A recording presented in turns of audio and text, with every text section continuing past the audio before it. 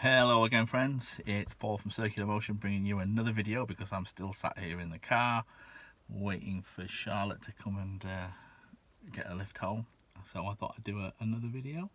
Uh, there are people looking at me weird because I'm just this weird long haired dude sat in a school car park talking to himself to all intents and purposes. There is somebody picking up litter over there looking at me like I'm a dog nonce.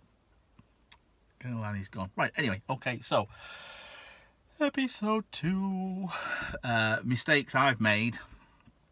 Uh, this is more about mistakes I've made uh, as a new collector, as somebody that didn't know what they were doing and still doesn't know what they were doing.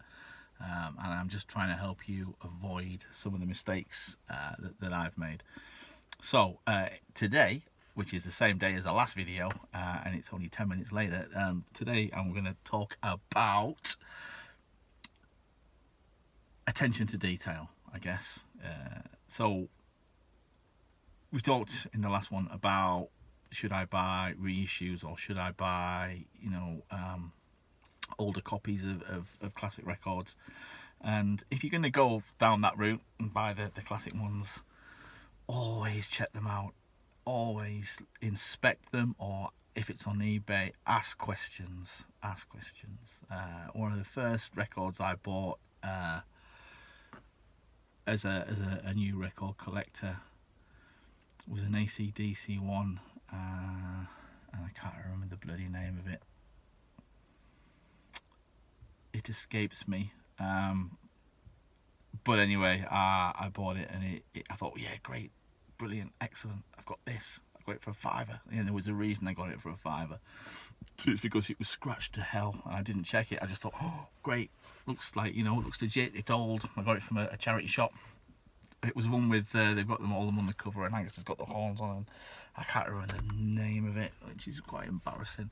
But um but yeah i got it and it, it is it isn't in in great shape at all. Uh and that's a regret. That was five pound wasted because it doesn't matter that that it's uh you know it, it's an original pressing because it's good for shit literally you know it's it's not even you, I can clean it, but those those scratches are still there, so it's not going to actually make a difference.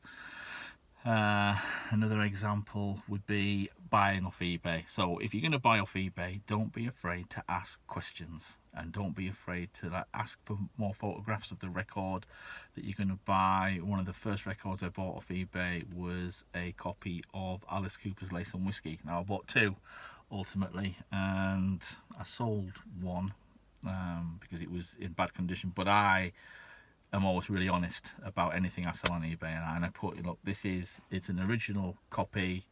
It's an original pressing from 1977, 78, I think it was. And uh, you know, I put I put that it sounds like someone's rattling crisps in the background, rattling a crisp bag because it was that crackly and noisy. And even with cleaning it, it just didn't clean. And you've seen that I do have a tried and tested method for cleaning records, and it that just didn't didn't help it at all. So don't be afraid to inbox a seller and say, right, okay, you're advertising this as perfect. Is it perfect? Have you play tested it? Is there any surface noise? You say there are some scratches on there. Do they affect playback? Does it skip? You know, ask. And if they say I haven't play tested it, my advice to you is don't buy it. I recently, you know, broke my own rule and bought a copy of Hunky Dory because uh, it was 15 quid and it was it was a Dynaflex pressing, so it was 1972. Um, and he said I haven't play tested it, and he put a picture on that looked okay. It didn't look too bad, uh, so I thought, yeah, yeah, I'll, I'll, I'll give it a go. I'll risk it. Got it, and it was just absolutely dreadful it looked like you know the borrowers had been playing rugby on it it was just covered and covered it looked like someone had tried to clean it with sandpaper it was that bad um, so yeah that was a, a, lesson learned i didn't take my own advice and ended up five pound out of pocket. So don't be afraid to ask questions you know um, don't be intimidated by thinking that people know more than you. Even if you go to like you know a second-hand record store or there's some market stalls or whatever you know take it out have a good look at it see what you think. And and if, if you're happy with how it looks you know then take that chance but but don't just buy things blindly. Don't don't make that mistake otherwise you can end up with a lot of heartache. Even you know and, and as a caveat to that even there are records that I've bought that I've picked up and I've looked at and to all intents and purposes they look absolutely fine. And you get them home and they don't sound absolutely fine at all seven times out of ten a good clean sorts most of that out but there are some occasions where I've bought stuff and it's just still been irredeemable. So it is a chance you take with buying older records but most of the time you, you end up with, with, with decent copies. So there endeth the lesson another one. Again you know if, if you keep coming back for these thank you ever so much. I really appreciate it. Uh, if you're new welcome.